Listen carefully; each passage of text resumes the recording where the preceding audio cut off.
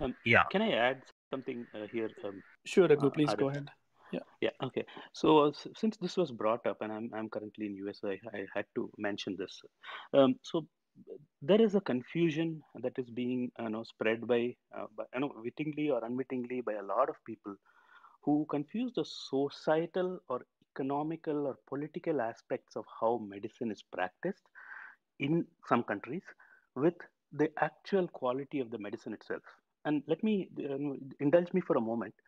If you look at for all the people who claim to have a problem with the US healthcare systems, if you look at every country, the richest and the most influential people, the first place they fly into for any of their unmanageable or un uh, no curable situations is to US, including so-called, you know, the you know, the Communist Party members or whatever, whoever? So, so, so that, so that in in itself, it's kind of an anecdotal evidence. In itself, is a proof that the health and or the science behind the healthcare that is being practiced here works, and it works superlatively well beyond anybody else, any other uh, system, and that that is that is the reason why you know health uh, healthcare has progressed because of the science here. Now societally how we should take care of the people who do not have the influence or the money to get their health back in order that is a different question. That is not the problem of modern medicine. That is the problem of you know, other other domains. Having said that i i also had a question for uh, you know uh, dr vivek um, uh, who who raised this question this point earlier. How is it that you know um, and if i have mistaken your uh, i have misread your profile please correct me. I do see that you uh, you say you're for ayurveda and for yoga and and you are against pseudoscience. I, I in my limit i'm not a medical practitioner. I do not understand this well but i try to follow the you know the scientific temper. I find that cognitively dissonant to say that you're for ayurveda and yoga and against pseudoscience. And um, you know and if it's it's you know if it comes across as an ad hominem you know moderators can stop me from that. But i, I find that because this this kind of uh, of, uh, of uh, ambiguity sometimes spreads a lot more harm among the audience uh, you know the audience who is not well equipped to understand all this. This ambiguity can can cause more harm and create more misperceptions about modern science. And i don't think we should we should you know give an inch about the superiority of modern science and the workingness of the modern science in, in any form because of the bad application or bad decisions taken by society in the application of modern science. That's that's my point of view and open to be corrected. Yeah. So first, coming to uh, the point about greed should not be used as a system. I was not talking about the societal issue here. I was talking about the systemic flaw in the way modern science is being delivered. And this systemic flaw, see, whenever a system is bad, it opens ways for other systems to take advantage. So I was talking about a systemic flaw, and I teach leadership in healthcare.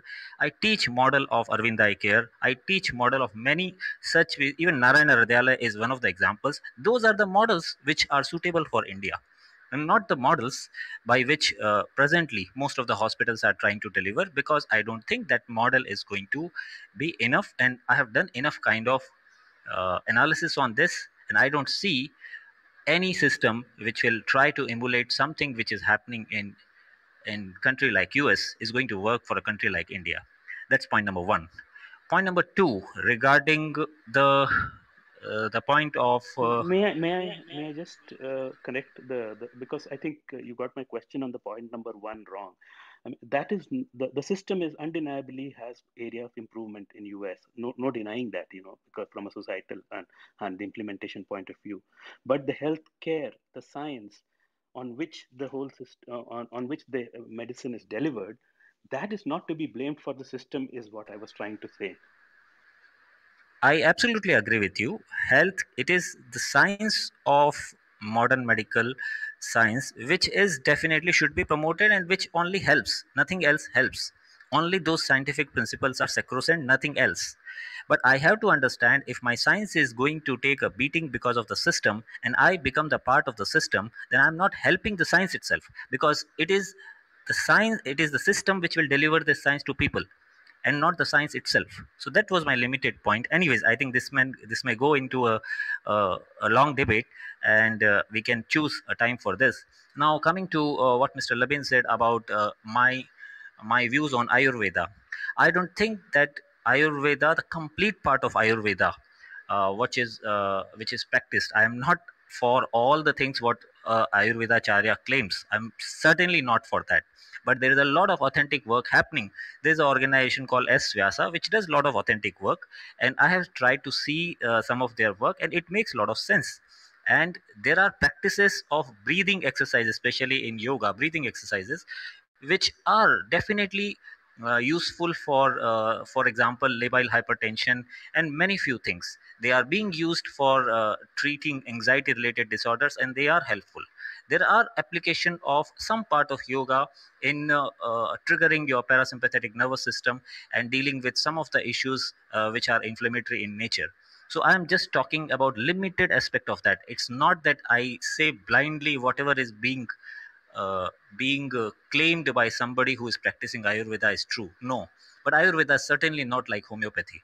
There is some stuff in it in it which can be looked into which should be examined which should be probably uh, which should go through more or uh, more research and uh, on the principles of modern science they may have something to offer. And many of our medicines have come through that.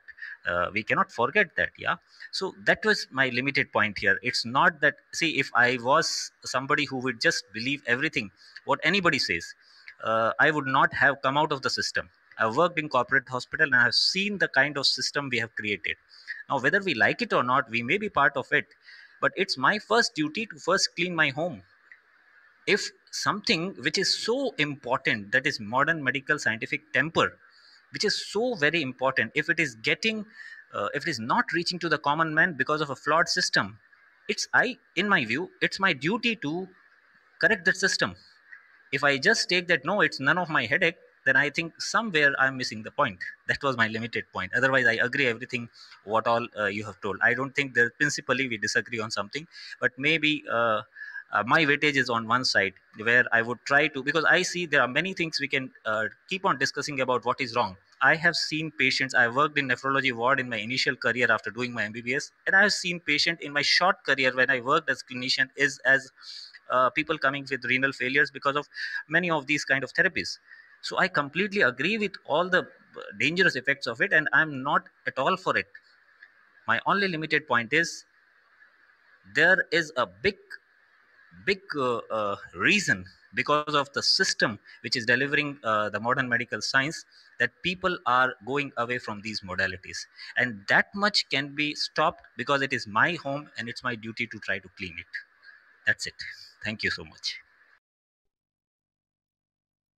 Libin, uh, would you like to uh, uh, Sure. make I some? will probably first start because um, you know, then now the discussion has slightly moved to Ayurveda and uh, whether he's.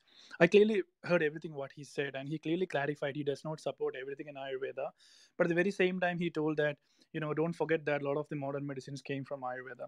So one thing I want to try to clarify, Vivek, is that whenever we speak about Ayurveda, we have to take this in three parts because that is very much easy to understand. The first thing is the fundamentals of Ayurveda and what Ayurveda is based on, which is basically the called Panchabhuta and the Tridosha and everything just like how homeopathy is founded on as arif initially clarified uh, the similia similibus curantur and this this the, the law of infinite dilutions without that there is no homeopathy just like that uh, without tridosha and panchabhuta and everything we cannot even call something an ayurveda in the first place. That is their founding principle which make that whole thing ayurveda. So we know at the moment that that founding foundation or whatever principles or theories or hypotheses what they have is at the moment completely contradicting with what we have in the existing scientific knowledge and hence that is pseudoscience. So everything they claim that human body is based upon five principal elements is wrong. Tridosha is what or the prakriti is what which uh, is uh, is there in the person. Every person has a predominant prakriti and the deviation of the prakritis which cause a disease is also wrong. So these two things can be outright rejected.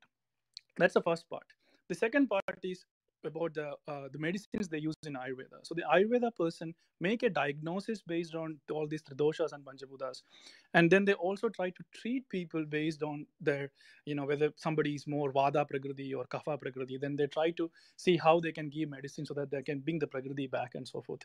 So the problem is that as Abby rightly pointed out, and many people have already done these studies, many of the Ayurvedic preparations do not have enough evidence to show that they can be uh, uh, properly given as a medicine. In fact, it has caused more harm too. So if you just check in the FDA's page or in the European Union page, you can never see them. They are being approved as a medicine. They are still as a food and supplement.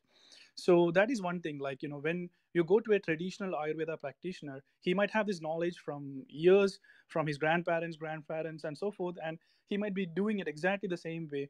And what is a scientific basis that some whole plant extract or a root or a leaf mashed and given has anything to do with curing something?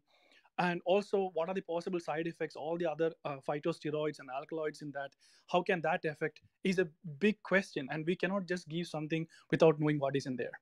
And now come to my third part which is what i fully support on you is we should do research on anything which has a medicinal property. At the moment, I already told the fundamental principles of Ayurveda is wrong. So let's not let's not say let's do research on Ayurveda. Let's focus on research on active ingredients of everything, not only just in India, all over the world, and try to identify molecules which could have a potential pharmacological effect. Isolate them, synthesize them, and use it.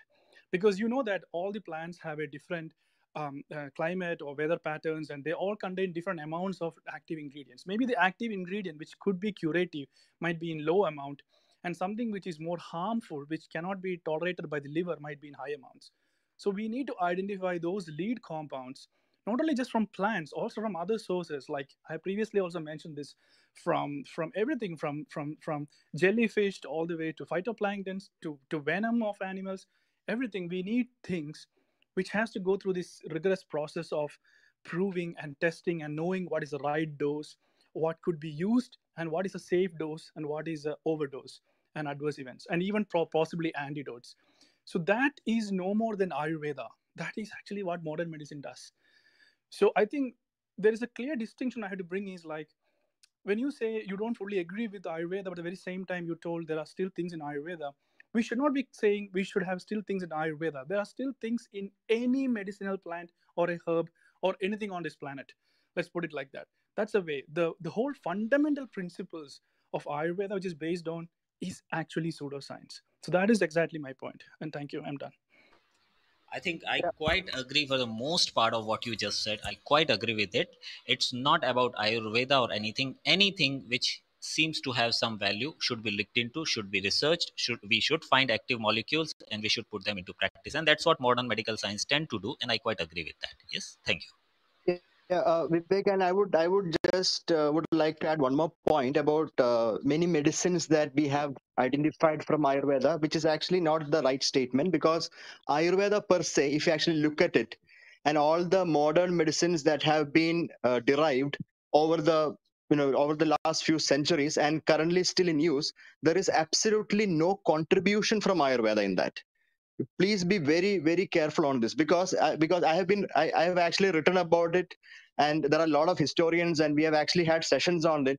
You actually look at any of these medicines that have a plant origin whether it be aspirin or metformin from the french lilac whether it be uh, curcumin from turmeric uh, paclitaxel, anti-chemotherapy drug, chemotherapy drugs from plants, they are all being from European folklore, Peruvian folklore, and from Jesuit priests and ayurveda has absolutely no role in it. So there are no medicines currently clinically in use that has been derived from ayurvedic knowledge.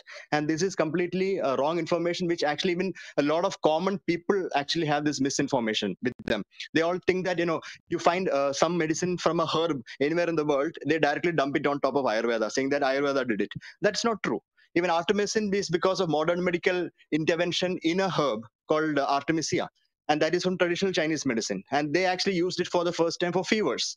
And none of such uh, such work has been done through Ayurveda for a modern medicine drug discovery, and it is currently not uh, not not the not not in practice also at present because Ayurveda still sticks to its pseudoscientific principles, and it is a very clear cut uh, pseudoscience.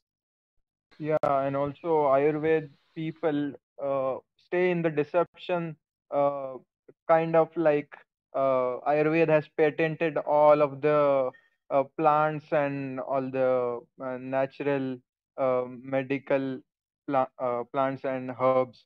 So it's it's not like that. It's just a mere coincidence uh, that we are using those uh, plants or herbs uh, in modern medicine and if you even even if you ask them why does xyz work uh, they won't have an answer their obvious answer will be okay it it aligns these uh, tridoshas and stuff like that they won't have any uh, solid answer for that Okay, now, uh, yeah, Dr. Arif. Yeah, I'd like to add a point to that because it was uh, told here that there are certain problems in our system. So until we uh, clear all such problems, uh, we should do our part. That's what was said here. And I think No, I, I didn't say until. I just said we should look into that as well because we are the people who are in the system. And if we just simply close that eyes and do not even talk about that, okay. uh, I think that's not fair. Yeah, I, yeah, okay, uh, I got your point. But uh, I was uh, coming to that. So what we are doing right now here, that is opening a room uh, in a clubhouse and having a discussion about all these things. At a time, you can look at your watches. It's almost 12 here in India, and still we are discuss- discussing all these all these uh, uh, problems, and we are discussing about the uh, probable solutions to bring about some change. So this is exactly what we should do to bring about change into the system. This is the basic, the foundation which we can do right now. This is the thing. And we should continue doing this until we see a change in the system because through us only we can see the change. We cannot expect someone else to come and save all these things. There is no Messiah to come and save us. So, so we should do this. We should keep on debating all these things and we should come, uh, come to a uh, consensus regarding the problems and uh, that's how we evolve and that and if, when when i say this you might be thinking this is, this is something impossible. No this has already happened in many other parts of the world and this is how they have changed. They have evolved from their previous state and we can also do that. So for that for our country what is required right now is these kind of debates that should happen more frequently and let's promote it. Thank you Yeah, so let us go to Manoj now. I think he's been waiting for a long time. Uh, thank you, Dr. Vivek. Manoj, please. thank you. Thank you. I've been waiting since three last three hours, sir. Uh, my name is Manoj.